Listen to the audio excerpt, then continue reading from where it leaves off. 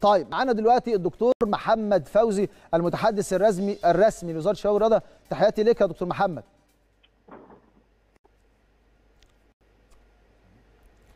ألو؟ دكتور محمد فوزي؟ أيوه. ازي حضرتك؟ مساء الخير يا فندم. مع حضرتك كابتن أسامة حسني على قناة الأهلي. كابتن أسامة مساء الخير عليكم وعلى كل السادة المشاهدين. أنا بس الصوت عندي مش واضح شوية. طيب يعني كده الصوت أوضح يا دكتور ولا؟ أنا كده سامع حضرتك. طيب تمام.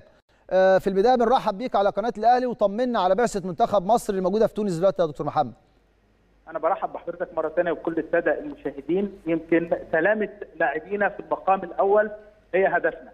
وده اللي أكد عليه الدكتور أشرف صبحي وزير الشباب والرياضة واللي بيتواصل بشكل دائم ومستمر حتى هذه اللحظة مع جميع أفراد البعثه هناك.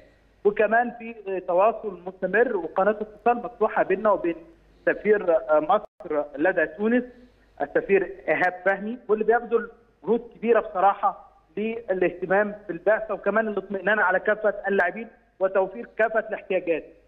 كمان دكتور أشرف صبحي تواصل مع وزير الرياضة التونسي واللي بيوجه له الشكر من هنا وبيؤكد على برضه اهتمامه الكبير بجميع أفراد البعثة وبيشكر أيضا السلطات التونسية. ولكن خليني اكد لك واكد للساده المشاهدين إن المقام في المقام الأول هو الاهتمام بصحة اللاعبين. ده ضروري ومهم جدا جدا جدا يعني. نتمنى لهم الشفاء العاجل، نتمنى لهم السلامة كلهم وإن شاء الله يا رب كده ربنا يعفي الجميع ويشفي الجميع إن شاء الله. أكيد يا دكتور محمد في مجهودات كبيرة من وزارة الشباب والرياضة وخاصة الدكتور أشرف صبحي خاصة بعد إعلان يعني 14 لاعب من منتخب مصر الشباب وإعلان إصابتهم بفيروس آه، كورونا. دلوقتي الجديد هل هيتم رجوع بعثة منتخب مصر آه، بطائره خاصة ولا النهارده اللعيبة في فيديوهات ليهم منتشرة ولينا فيديوهات خاصة هنا في برنامج الاشبال على قناة الأهلي إن اللعيبة مصرة إنها تكمل البطولة خاصة إن ده تعب ثلاث سنين. يمكن خلال المشاورات ال- هو كان القرار عودة بطيارة آه، ليهم إن شاء الله عشان يرجعوا. آه، اللاعبين. وطبعا آه، أكيد كلنا يعني متابعين وعارفين اللوائح بتؤكد إن لازم يكون هناك على الأقل 14 15 لاعب موجودين علشان آه، يقدروا يخوضوا الاتحاد الإفريقي. كمان إحنا عايزين نأكد إن إحنا بنتبع طبعا جميع اللوائح والقوانين الخاص- الخاصة بالاتحاد الإفريقي والمنظمة في هذا الصدد وأيضا آه، اللجنة ال- ال- اللجنة الطبية اللي بتؤكد أيضا على سلامه اللاعبين في المقام الأول. دك- دكتور محمد. الاصابات الك- آه ممكن حضرتك بس تتحرك شوية عشان الشبكة بس تبقى الصوت أفضل شوية؟ كده كويس؟ آه آه أفضل يا دكتور.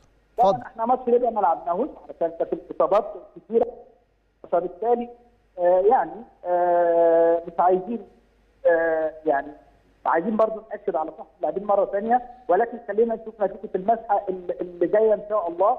ولو العدد آه خلاص آه اللي هو تناسب يعني العدد المناسب لخوض المباراة آه كان متوفر والحمد لله يعني ربنا شفى عدد من اللاعبين نقدر نخوض المباراة.